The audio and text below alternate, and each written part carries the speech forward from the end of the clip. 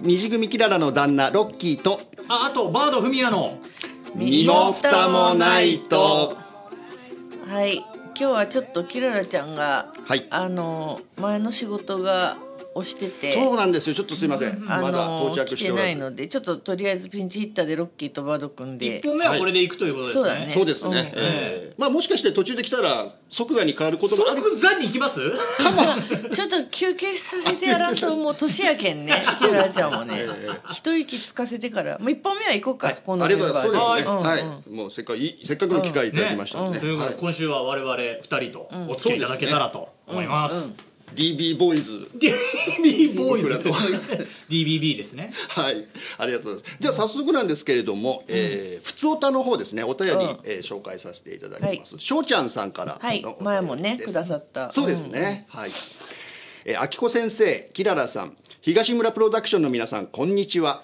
こんにちは。お酢豚のしょうちゃんです。はい。翔ちゃん前回年齢を忘れておりましたが、45歳男性です。おお私と同じぐらい、うん。あそうね。先日の無アクセントのトークテーマが採用されてとても嬉しかったです。宮崎弁のね宮崎の方だからねこの方、はいはいはい。意外にね、ないぞっていう話ね、今回のトークテーマはお酒です、私は最近お酒を飲むのをやめたのですが、周りの人に驚かれます、主にお酒を飲む人にですが、よくやめられたねと言われます、え自分としてはそんなに大変な感じではなくやめられた感じです、えコロナやこの45歳という年齢もあってだとは思いますが、一番はえ飲まなくてもお酒の席を変わらず楽しめるというタイプだったのがあ大きかったと思います、席には行ってるのにやめてるってうん。そう。すごいで明子先生も普段はお酒を飲まないとおっしゃっていた気がしますが、若い頃は飲んでいらっしゃいましたよね、えーお酒をやめられたのはやはりごっちゃんの出産から育児がきっかけでしょうか、また、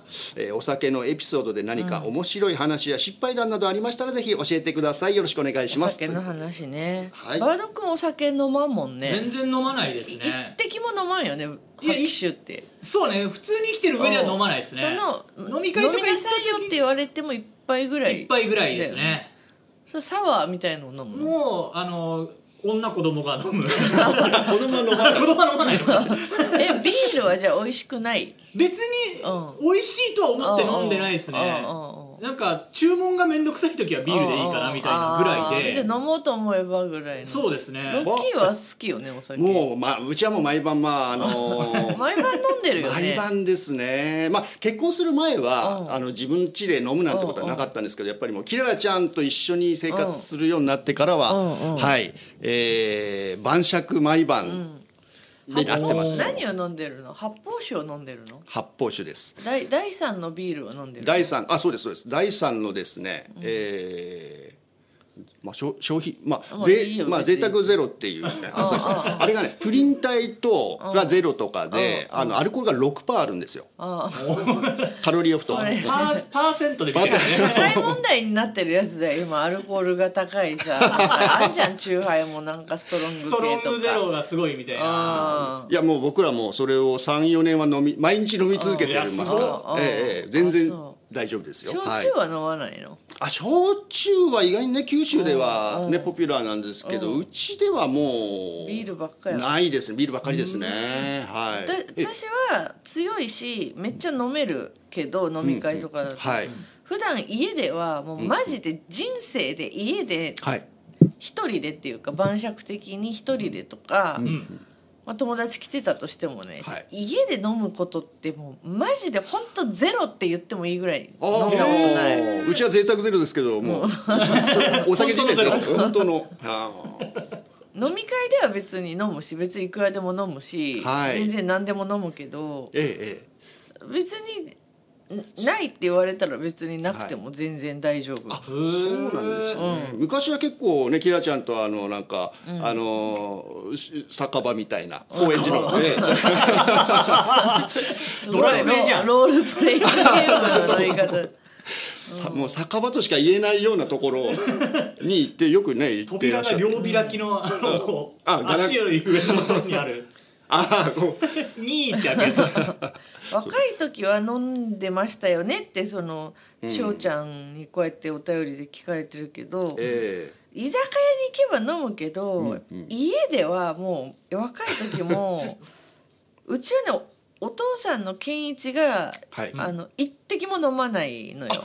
そう一滴もその飲まないのそもそも。だから家で飲むっていう習慣がなかったの、東村家に全く、はいうんだから家で飲むっていうなんていうの発想がないから 若い時から家では飲んでないですね。居酒屋では飲んででも私ってほらまあ酔っ払わないじゃんめったに。そうですね。もさなんかうん数年に一遍酔っ払う日があっていろんな偶発的に、はいうん。い。ろんな条件が重なると、本当にでもね78年に一遍ぐらい。マジこち亀のあの人よりすごいぐらい。あ日うん。よりすごいぐらい。日暮さん。もう起きなくなっちゃいましたね、もう終わっちゃったから。4年に1回。あそうかそうか。あの人そう出てないの最近。いやあのこち亀終わっちゃったんで。あそっかそっかそっか、はい。えこち亀って終わったの？終わりました。いつ終わったの？結構前何年か前確かちょっとニュースになってたような気がしますね。あそうなんだ、うんうんうん。そっかそっか。だったようなすごいでもどんいろんな条件がこう偶発的にうん。重なってっていうのもちょっと気になるは気になりますね、どうどういう？あのね 本当にもうこれはもう偶発的にまずその前の日ちょっと睡眠時間が短いとかいうそういう体調的なこととああなるほど、はいあとそのすきっ腹に飲んでるとか、あとその日奇跡的にこうメンバーが気を使わない人 しかいない、私ね一人気使う人いるともう絶対酔えないのよ。なんていうの？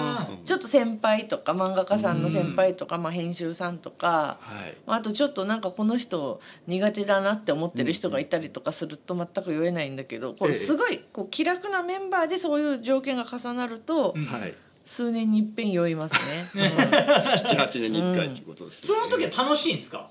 あのねあのその例えばほらトイレにこもってずっと吐くとか、はいはいそそういう系ではなくって楽しめる？あの楽しくわーってなってもう寝ちゃうみたいな感じなんだけど、この間アシスタントさんと、はいはい。まあキャンプみたいなコテージみたいなところでうんキャンプみたいなことをしたのあれ2年ぐらい前コロナなり始めぐらいの時に。はした時に私なんかすごい条件が整ってあのー庭で、まあ、バーベキュー的なことをしてたんだけど、はい。めっちゃいうん。そこで、あのーもう酔ってこうなんとなくもう寝ちゃったんだよね、う外で。別に寒い時期ではなかったけど、はい一応もう酔い酔いつぶれたってことでもないけどもう寝たのよよとにかく、酔っ払っちゃって。はい。でそれをそのアシスタントの男子たち全員でそのコテージまで抱えて運ぶのが大変だったんだって覚えてないけどね 私は寝てたから。そこまで？ええでそのでももうみんなも酔っちゃってるから男子たちも。はい。だから哲郎とかさみんなあの辺がさはい。よ酔ってるからなんか朝私はって部屋で起きたんだよね。部屋で起きたら体中が葉っぱだらけだったの。で葉っぱだらけのちょっと傷だらけっていうかなんかあれ？みたいになったらなんかその酔って運ぶ時になんか3回ぐらい落として転がった私を。まあ重いのとな漫画みみんな酔ってるので。漫画家さんですか？らやっぱ利き手は使えなかったみんなが左手とか使って さ運ぶ私運ぶ時ぐいらい引き手さ使ってそうとかね。まあそれが最近のやつかな、うんああそれは面白いですまあね。じゃあもうここでなんかもう契約じゃないですけど、やめなきゃいけないってなってもやめれるってことですか？全然別に飲まなくていいんだったら別に全然飲まなくてもうん。平気。はコーヒーとかあれば。あ そうですよね。もうあのカラオケとかももう全然お酒なくてももうすごい盛り上がそうそうりそう。もねすごくあとねすごいし。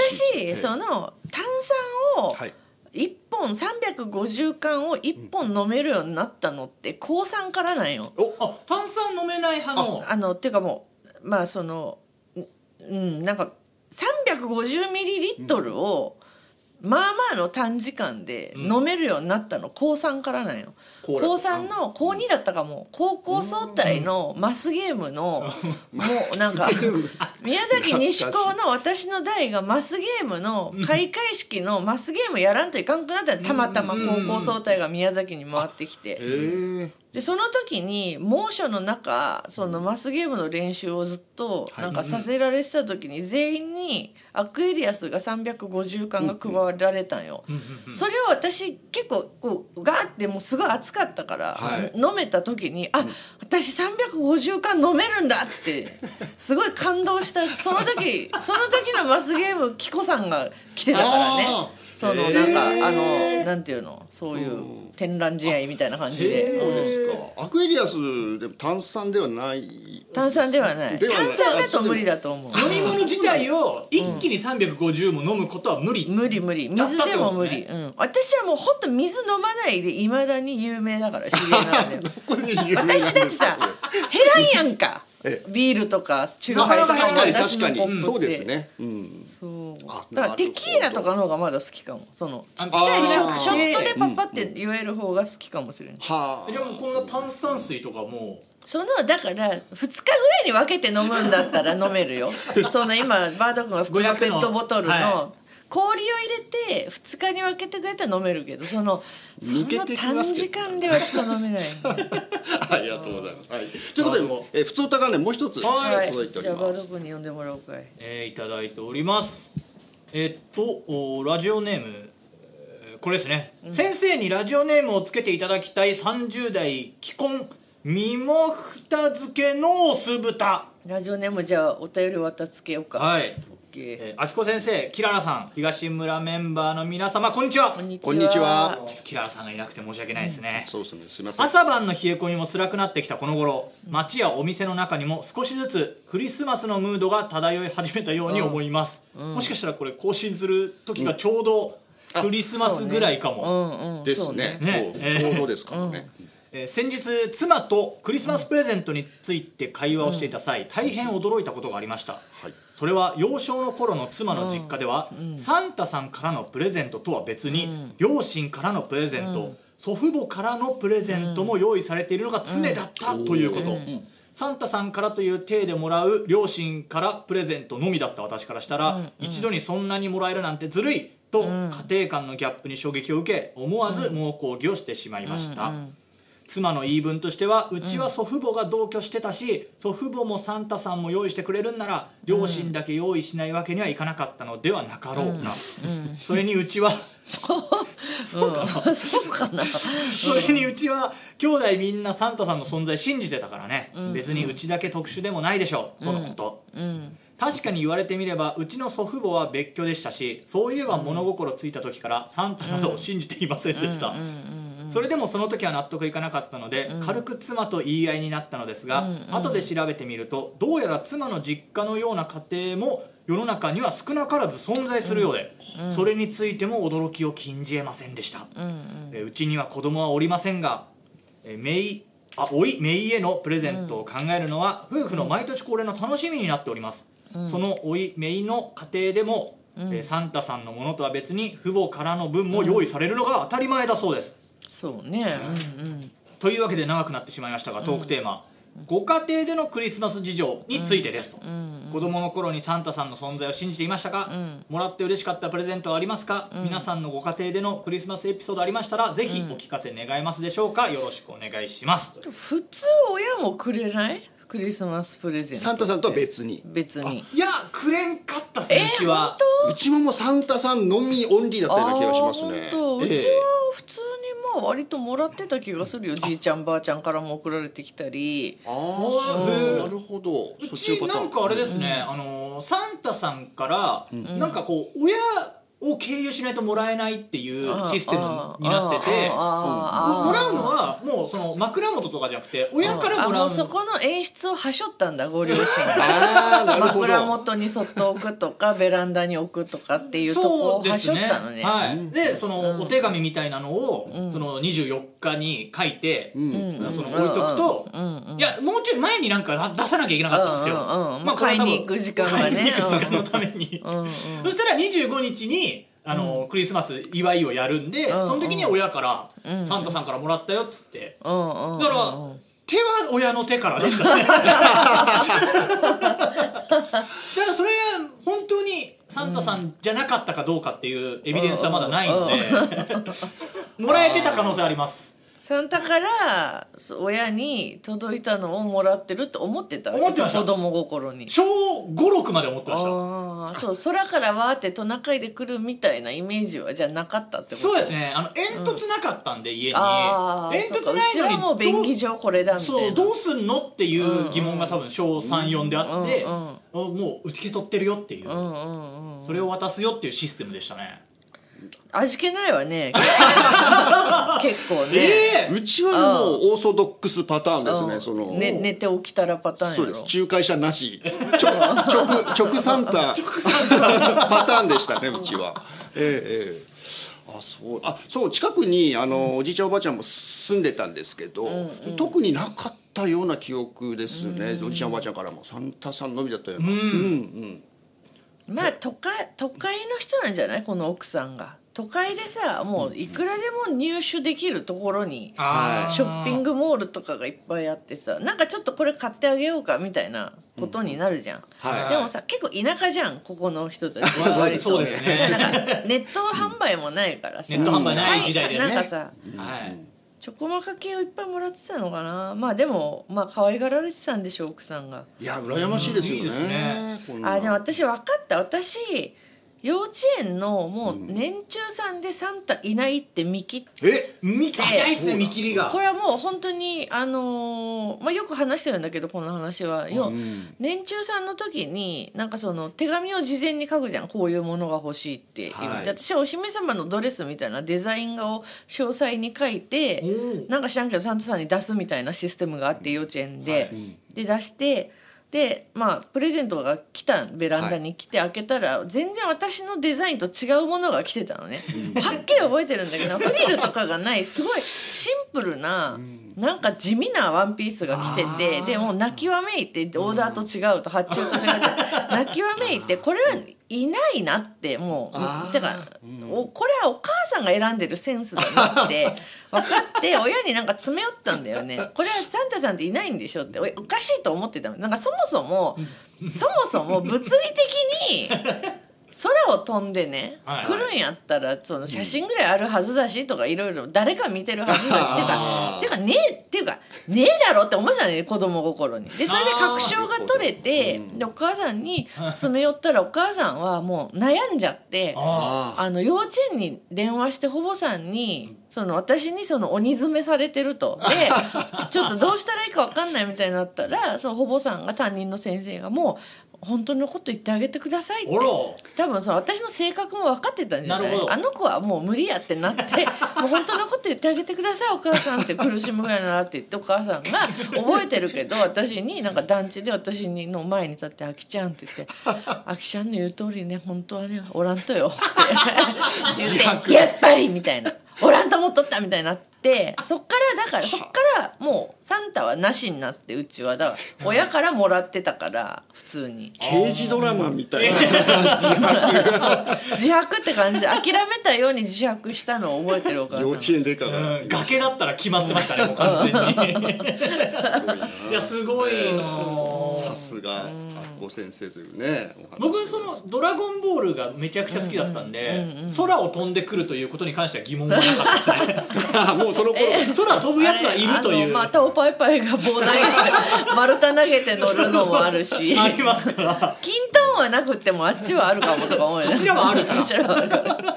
ごっちゃん結構あれですよね。結構小学生中頃ぐらいまで。ごっちゃんは信じてたね割とね。あのあれ可愛かったですよね、うん。おお礼のあのサンタさんに。あそうそう。ごっちゃんがだからあのどこで聞いた聞きかじってきたのか知らんけど小1だったと思うけど小1の時にベランダにごっちゃんがメッセージカードを置いててでそれを見たんだよ私こっそり前の日の夕方一応。まあプレゼントはまあ事前に聞いててライダーベルとかなんかを用意しててでメッセージカードを見たら「サンタさんあのいい子にしてたのでライダーベルトをください」はい。でベランダにチョコとお水を置いていたのでお置いているのでお飲みくださいってベランダにコップに入った水となんか皿の上になんか私のなんか机にあったなんかトリュフみたいななんかチョコちょっといいチョコ3個ぐらい並べてベランダに置いてたんよで私そのチョコを3個なんていうのもうクマが来たみたいに食い散らかしてギャ ってなんていうの？パクって食べずに全部食いちぎって半分ぐらいギャギャギャってけだものが食べたように散らばして寝たんだよ。で次の日の朝ごっちゃんが「ママサンタさん来てる！見て!」とかって言ってベランダに。さ「ほらサンタさんが食べた跡がある」みたいななんかサンタがチョコ食い散らかしてなんかもうそ去ったみたいな感じになってて。配達食べてるでそう配達で忙しいからもうね。急いで食べいちゃう。やもうけだものにしたんだよ私はなんかその知能がない生き物にしようと思ってサンタさんをみたいにしたんなんかそういう演出を入れてみたの食べてるほら食べた跡が あるみたいな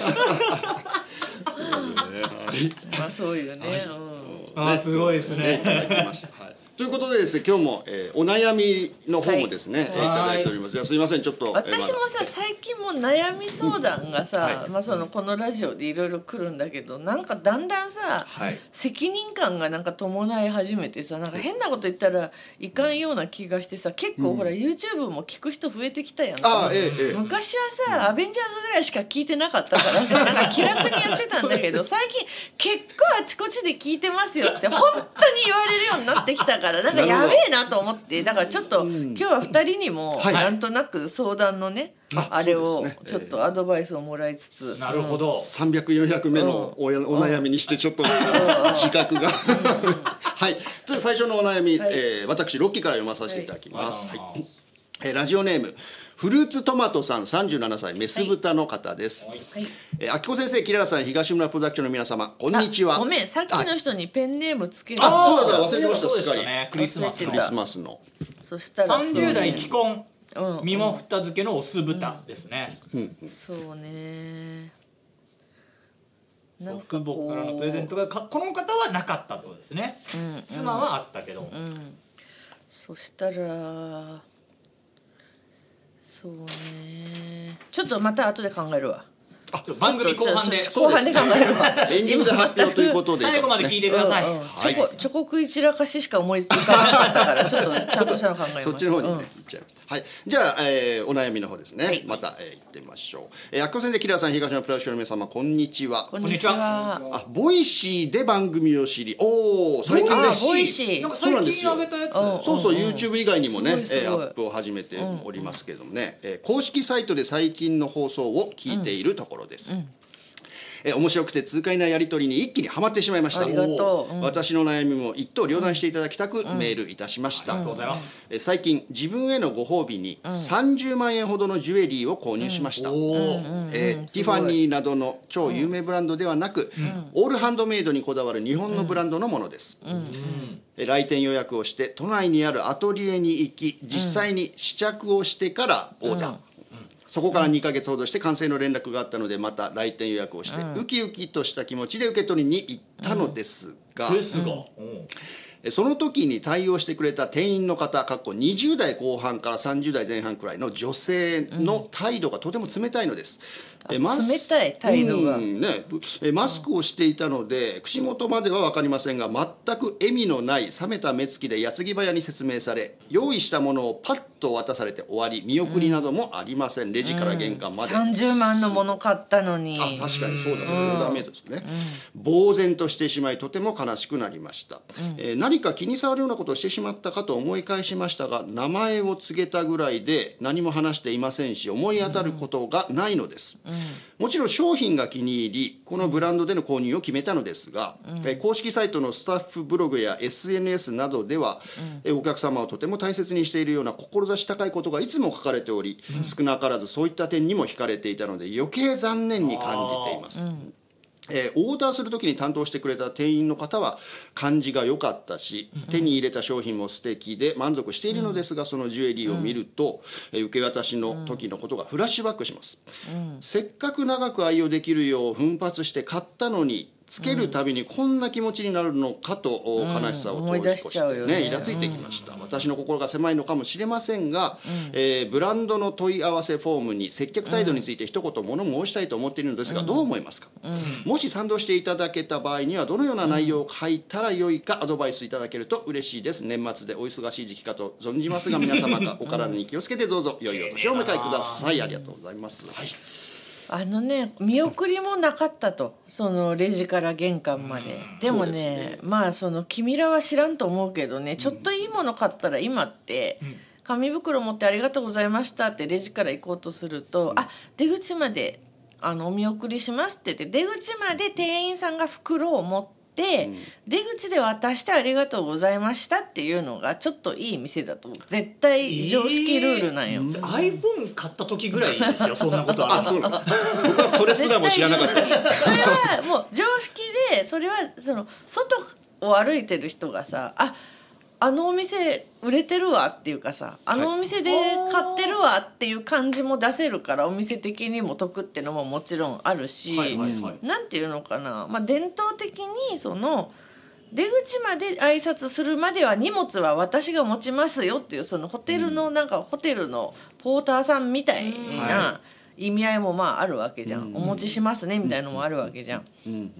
まあこの人その店員がねなんかまあたまたまなんかでトラブったりとかしてバタバタしてて他に気がバーっていってる時にたまたま対応されたんだとは思うんだけどね。ああいやそれにしてもやっぱり仕事のねな範疇というかの対応ではありますよね。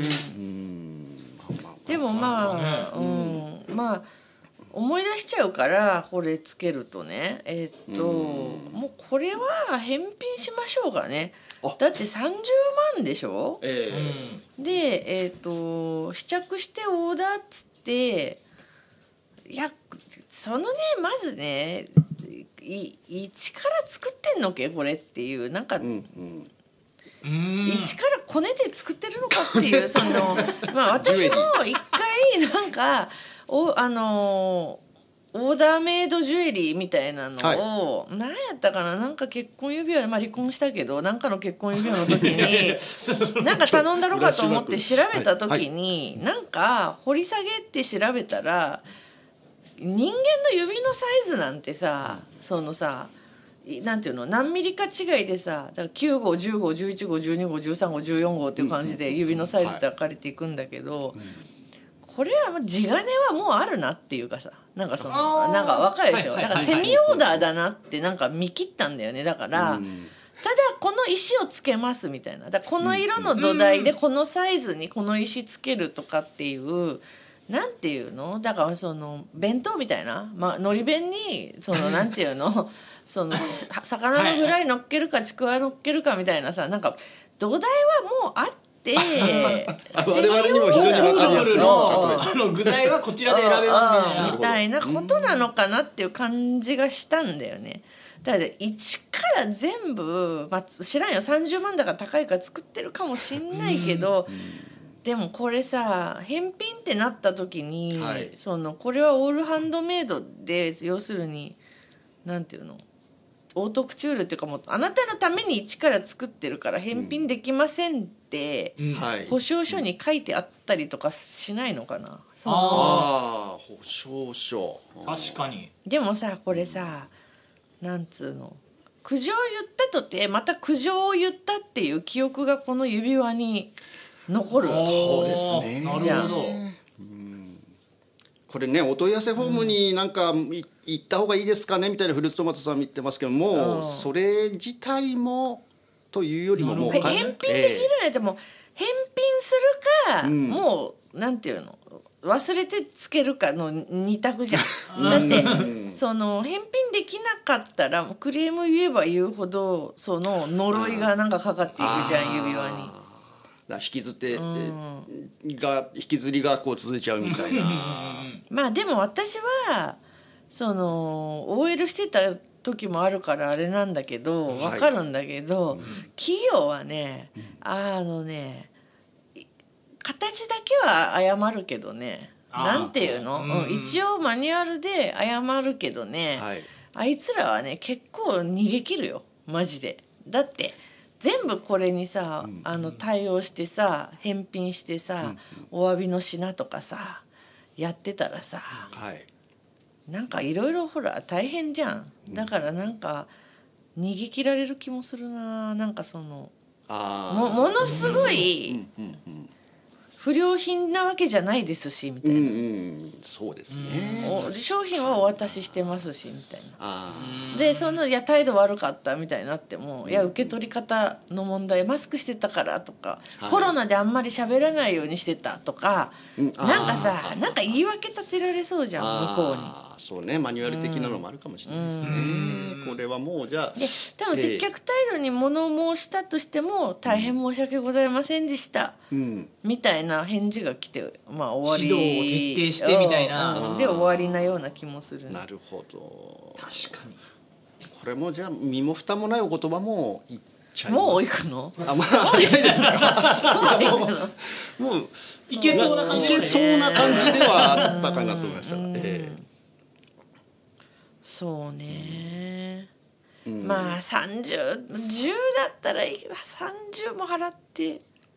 でもねやっぱねまあ分かった。あのまあ本当悔しいと思うしフルーツトマトじゃん、ね私もはい。このこんな目にあったらもうめっちゃムカつくと思うんだけど、やっぱねあのねやっぱハイブランドで買った方がいいのよ。こういうことがないのよハイブランドは。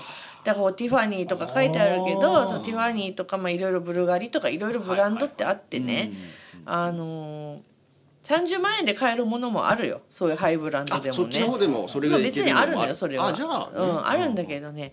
やっぱねにわか企業ですよこのききにわかブランドでしょ。ここうんやっぱね歴史と伝統とねその社員教育のマニュアルがあるのはね高くってもやっぱハイブランドっていうのはもう一生に一回の出会いみたいな感じでちゃんとなんかやっぱハイブランドで買い物して嫌な気持ちになったことってなくってなんかたったここんだけのものしか買ってないのにこんなお姫様扱いしてもらっていいのかしらっていう感じよ。であの人たちは別にね客も別にね選ばんしなんか差別もしてなくって、もう本当に大学生がなんかバイトで握りしめてきても、その人が将来自分とこのねもしその人が例えばマダムになったりお金持ちになったりとした時にこのブランドをまだ愛して買いに来てくれなきゃ困るっていう長いスパンでものを考えてるから、お札握りしめてきた大学生にももう本当に同じような対応をするそれがハイブランドそれがヨーロッパの歴史っていう感じなのよ。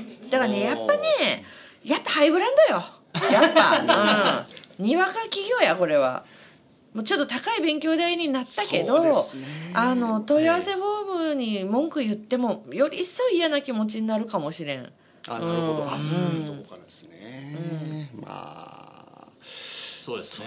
ね、ということでですね。そう。うん。で記憶をやっぱ上書きしていくしかないんで、指輪つけたままやっぱ冒険出るしかないんですよね。そうでもまあまあさ言ってることは極端だが、はその記憶を上書きするというところには賛成。うんうんそうね。あの時戦いに勝った勝った。ジこれをュエリーだっていうふうにそうそうそうそう。上書きするということですね、うん。なるほど。これつけてたことでこれを乗り越えたとか。うんいう新たな記憶でね。なるほど、それも一つの解決法ではないかということで、では、うん。はい。身も蓋もないお言葉、えーお願いいたします。いいよこのブランドのことを徹底的に調べる。私はよくやるって居酒屋に行ってすごい出てくるの遅かったり態度が悪かったりいろいろうまくいかなかった時にその飲食グループのまずあの本部の本社のホームページに行って、この会社はどんな会社だって言ってすげえ調べるその創業から。だからあこれは意外と山口県で創業してんのかこのグループはとかね。なんかいろいろで他のねとこも調べたりとかしてその会社のなんか歴史とか理念とかを、要するにブランそのジュエリーブランドのホームページってさお飾りなことしか書いてないんだけど、この会社はどういう会社なのかをもうこの機会に勉強して、でやっぱりねなんか一回ちょっとハイブランドの店に覗くだけでも行ってみてほしい、うんうんで差を感じてほしい。もう勉強代だと思って。だからそういうねほいほいほいなのよ。なんていうの30万円ぐらいでオートクチュールのジュエリーが作れるっていうのがそのブランドの戦略なわけで、うん。ブランドの気持ちになってどうその女の子たちをだまくらかして実際ねそんなそんなでもないジュエリーを30万で売りつけるかって こいつら考えてるんだとかいうね。そう物事を裏側から見るという勉強代にしてその指輪はあいつらめって思いながらつければいいよ。それもあなたのねなんか人生においてねちょっと大人になったってことだよこれでなそうしよう。私もねいっぱい失敗してきたし買い物ってねなん。だよってこともいっぱいあったけどね。そその都度その次に選ぶところでは失敗しないっていうかね。なるほど。次につな、の買い物につなげるというちょっと意識をね。こう意地悪な感じでそのブランド調べてみて、はい。マジで。大した会社じゃねえよこんなの。フルーツトマトさん。ね、えーご参考にしてください、はいでもう一つお悩みあるんですけどまあちょっとあのまた人がこうあのちらほら来てはいるので誰々か読んでもらえます、読みたいの？じゃあじゃあ石子が読むか。い、はい。読みます。お、はい。石子さんだ。あ。名乗りもせず。はい。えー、なんだこれ。ラジオネームよっぺいおすぶたさんからです、はい。あきこ先生きららさん。芸人の皆様こんにちははいいつもありがと1年もあっという間で年賀状の季節が今年もやってきました。うわ終わるね一年。ここで頭を悩ますのが、この人には今年も出すべきか問題です、この人微妙だけどなぁと自分が元旦に間に合わせても相手からの年賀状があからさまに折り返し帰ってこあ帰ってこられないという帰ってこられたという場合は、ああやっぱりこの人の年賀状リストに自分は入ってないのねと肩を落としながらでももう来年からは出さなくてもいいよね。これで整理できたと悲しみを乗り越えて前進する次第です、年賀状を出す出さないの基準をお話しいただきたいです。う今時こんな年賀状に本気な人いいんだ。なかなかそうですね。年賀状なんか私もう何年もやってないな。もうずっと出してないですね。うん出すべきなのかもしれんけど、うん。もう、まあ、メールの時代を経て LINE で LINE もちょっとあのー考えものだなと思うのが、うん。あの前のやり取りがずっと残ってるじゃないですか、うんそうね。でうん。ずっと連絡してないけど、うん。一応ちょっと挨拶ぐらいはと思って「うんうん。明けましておめでとうございます」みたいなのを送ろうとすると、うん。その前のメッセージも「明けましておめでとうございます」だったりするとちょっと気まずい。気ま1年何にも連絡しなかったってあ思っちゃうんですよね。ねよっぽどお世話になった人とかはね私も茶道の先生とかににはそういうなんか礼礼儀をこう尽くしてる間柄とかだと出そうっていうのはあるんだけど、もういいんじゃないの？やめたらもう年賀状い いよもったいないじゃん、あの山ほど紙が届いてさ。そうですね。あれを毎年どうすっかっつってさ、うん。自分ももう師匠とかもそういう、師匠？ねあきこ先生とかもそういった人、うん。うんあそう方たちにちはちゃんとしかもうんう送らないですからね、もう普通うに。んだからもう本当に数枚うん。とか、まあ、あと届いてきた人に返すみたいな、だからそうねせ生態とかしかとど送ってこない、生態生態その後お体はいかがですかみたいな。私もショップからと編集部からは来るかな。昔はよくあの各編集部の年賀状を書かされたけどね漫画家が持ち回りで、えー。まあ今もだけなるほど編集部の全員の似顔絵を描くっていう苦行。苦行。でなんか牛年だったらなんか牛と引っ掛けて「今年お願いします」とかって回ってきて全員の似顔絵と牛の絵とか描いたその編集部のなんとか編集部の年賀状みたいな漫画家さんが描いてるけどね毎年ね。それめちゃくちゃ貴重じゃないですか。そうみ最近こね。こ何年かやってないなでも、うん、まあでもまあそうね。まあでもよっぺいみたいに一人ぐらいそういう人がいてもいいのかもしれんね、年賀状をずっと出すタイプの人がね、うん、そうですね、うん。出ないと郵便局は大変なことになっちゃいますでも郵便局は別に忙しくなんなくていいうん、そうだよ気はすそうだよ。るけどだいぶ減ったやろあの人たちもね、なんかきつすぎてうん。川にぶん投げちゃうああったあった。事件あった。あーありましたね、うん。でもなんかノルマがあるらしいんで。ええよく年賀状さ配る高校生の時とかバイトに高校生バイトしてましたね。バイトしてたやん、それしかバイトしちゃダメみたいなさ、はいはいはい。やってたわ。ありましたね。中学高校ぐらいはまだ年賀状とか友達出してたんでうん。なんかそれをおお餅の食べ過ぎに注意みたいなやつでしょ。とか、うん。そのボケてたんですよ結構その年賀状で。そうね。辰年だった時とかは、うん。その全面に辰吉丈一郎の写真を印刷して「辰年」って書いてあのもうそれだけでいじめかっこ悪いっつって送って。な何だったのあれはみたいなまあ新学期の話題みたいな。新学期の話題にうんっていうのやってて高校ぐらいで辛くなってきてそれを毎年考えるの もういっかみたいな。うんのでやめたりしてましたね。うんうん。いいんじゃないの？もう別にもうよっぺ今年やめれば。もう思い切って。やめるうん。1年休んでみれば。思い切って来た人だけでいいんじゃないですか。うんうん。そうだよ。そこでこう選んでいくみたいな、うんまあいいよいいよ。別に LINE で。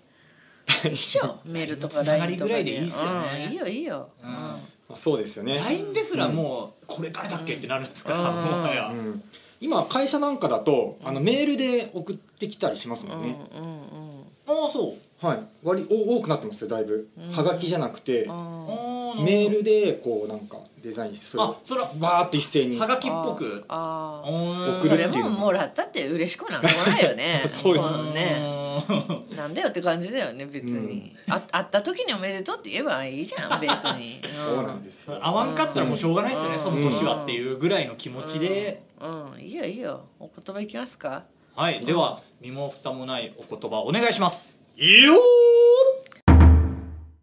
今年休んでみたら。ー これは身も蓋もないですね。うん。休んでみえたらもういいよいいよ、ええ。もはい、えー番組では皆さんのお悩みを募集しています、うん。応募方法は番組宛ての E メールアドレス、みもふた .r.gmail.com です、えー懸命にお悩み相談とご記入の上年齢性別ラジオネームお悩みをお送りください。トークテーマや質問なども募集しています、はいで採用された方にはミモスターステッカーをプレゼントいたします、今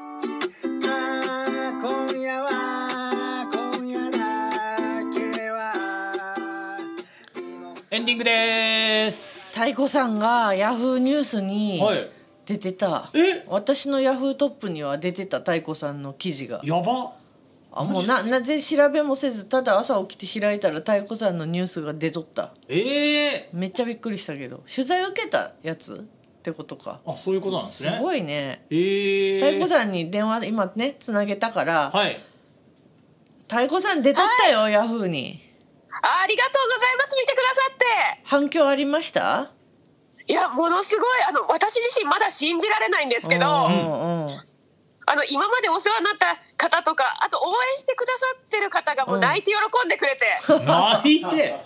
旦那さんも喜んだやろ本当に、ねえ。いやたそれでも記事の内容はうん。うんあの貧乏芸人のままなので、うんうんうんなのでちょっと広告収入もうちょっと頑張ろうって思いました。なんか苦節14年みたいな記事になってたもんね。あそうなんですいやでも今貧乏生活は続いてます。あそうなんですね。ではいあのもうん。ちゃんとウェブというウェブマガジンの担当の方が、うんうんなんか TikTok で見つけてくださったみたいで。あああやっぱそっちそうなんかだ。うんそうなんです。なので本当にあの身も蓋もないとのバズり道場がきっかけといっても過言ではないので、小林くんにねそうです本当ねね感謝しないと。感謝ですよ。彼には何の取材も起きてないのに。ねよかった太鼓さん。本当ありがたいです。やっぱ TikTok かやっぱ時代は言ってるもん私の周りのその業界人の人も。もうもう YouTube じゃない TikTok やってみんな言ってるわ。うわうーん。ああいやーそれでも結構 TikTok も波があるので結構大変です。私のヤフーニュースのやつ、まあヤフーニュースって人によって出方が違うとはいえ、うんあの前澤さんの宇宙のニュースのよ下だったよ太鼓さん。え？前澤宇宙からの太鼓のさん。の次が太鼓うだったよ。そうースクショ撮ったけど、うんうん、最近ニュース少なめでした？すごいよ。おめでとう太鼓さん。おめでとうござーいいます。本当皆様のおかげです本当に。うんいや気づいたらやっぱ YouTube の登録者数も抜かれてましたからあ本太鼓さん当に。すごいもう僕ずっとやっぱ東村プロエースって言ってましたけど、うんうん。もう陥落しましたね。ちょっとエース太鼓になってきたかもしれないね本当に。それでもやっぱり陥落しました長い動画を見てもらえないので私の場合は。本当に。でもまあ別にショートで伸びてるならそれでうん。別に何も問題はないと思うんですけどね、本当ですか、うん。ちょっともうちょっとなんか皆さんのあの時間を奪えるような芸人になりたいです。ね頑張ろう頑張ろう。またねライブもね出てもらって東京まで来てもらって、うんうん。本当です。あ太鼓さんのファンの本人がもう来ると思うライブに。多分ねそうなりますね。う。んうん。当そうだと嬉しいですけども、本当私スカスパークルまだ立ってないので、あそうだよね、うんうんそうかそうか。そうなんですよ。ね。まあもうそれでね新幹線で来れるぐらいのねうん。感じになったらいいですね。前バスで来てましたそうよ。ねなんか。よ高速バスよ。もう高速バスです。次はここじゃなくて事務所じゃなくて寝袋じゃなくてビジネスホテルぐらい泊まったら次は。アパぐらいは行ってほしいですね じゃあ次あアパぐらいはじゃあと取りたいと思います。うんうんうん。新幹線で来ていやアパ取るよ。うちのエースだから私がアパを取るよそれはちゃんと。大事にせんと。ありますもんねあのスパークルの近くに。うん、うん、あるあるある。アパを取るよ。うんあありがとうそうございます。しようそうしよう、うん、またねほんならまたあの皆さんもぜひお願いします太鼓さんのうん見てる。TikTok という、あこれ聞いてる方ぜひ。うんヤフーの記事も見てみてください、うん。あぜひぜひあのちゃんとウェブの中にあるので、うんうん。あの元保育士 YouTuber バズるまでっていうタイトルをつけていただいて、うんうんそういうタイトルなんですね。そうそういうタイトルそういうタイトル。いいですね。うん。うんうんうん。じゃあ太鼓さんいいクリスマスを ありがとう車のいや中から。こちらこそです、あありがとうございます。またあの来年のライブでお会いしましょう。はーい。ありがとうございます。ありがとうございました疲れ様。ありがとうございました。はーい。すごいね素晴らしい。本当。ねその電話をねこっちのマイクで取るのが難しいってことでうん大きい声出すためにうん。車の中で喋ってくれる。なんか方法あるんだろうけど 我々がみんなデジタルに疎いからさ。普通なんかその会話を録音してそれをデータで送ってもらってとかやればいいのにさ。通話スピーカーにしてマイクに拾わすっていう。しかもさ声がよく拾えるようにわざわざあの軽自動車の中に閉じこもって反響させてさ電話するってさどんな この時代にさもう本当にね。まあよかったわ。ラジオ創造機みたいなね。ちょっと温かみのある感じで。ねえ。いやでも本当すごいですね。ねまたみんな見てください。ちょっと来年は始めていきましょう。我々うんも TikTok ね。太鼓さんはねめっちゃ TikTok めっちゃ見ててめっちゃ好きやったんやってそもそも。あそれはでかいっすね。めっちゃ詳しいんやってだから、うんそれはでかい。ね。うん。またみんな見てください太鼓さんのやつ、はいお願いします。す。ね。私さっきの決めたあのあラジオネーム。ラジオネーム。うん。あの山太郎ガニにします。山あの山？や山川の山に、はい。あの太郎さん二郎さんの太郎に、はい。カタカナでガニで山太郎ガニこれは宮崎鹿児島の川にいるカニです。あ本当にいるカニ。うん、そうです。いやもう宮崎の鹿児宮崎鹿児島の人今どっかんどっかん大爆笑。先生山太郎ガニ山太郎ガニってっていうね。ちょ山太郎ガニぜひ調べてみてください。いいと思います男っぽくって。ああなるほど、じゃあ次からねあいいカのラジオねニいいカニです。これはめったに取れないんです最近。はうん。なるほど。バフンウニとかそういう系の、うん、そうそうバフンウニ？うんそう。あるバフンウニは知ってるよ。バフンウニって何？希少なの？なかなか取れないんじゃゃなかったですか？あそうだっけ？まあ高いよバフンウニなんかテレビの企画とかで取りに行くような。あのトゲがあんまないウニね。あそうなんだ。んそうそうそう。私は海で取ったことあるけどね宮崎の。山太郎ガニ。そう、うん、ぜひ調べてみてください、はい。まあ山太郎ガニの話はまた別の時にしますね。はい、ねよろしくお願いします。す。はい、というわけで。今年の放送はこれで終わりかな、えそうなのか。そうか谷川さん次第谷川さんがいつ編集してあげるか次第。今週だってもう一回ぐらいいけるんじゃん今週の金曜がだって最後の金曜じゃないもう一回。もう一回。回いけるもう一回。分かった大晦日に大晦日に大晦日にアップしてくれるんけ31金曜なんだ。ガンガンの朝から聞いてならじゃあまあ皆さんじゃあ良いクリスマスをお過ごしください。はい。ありがとうございました。はいおやすみなさい。おやすみなさい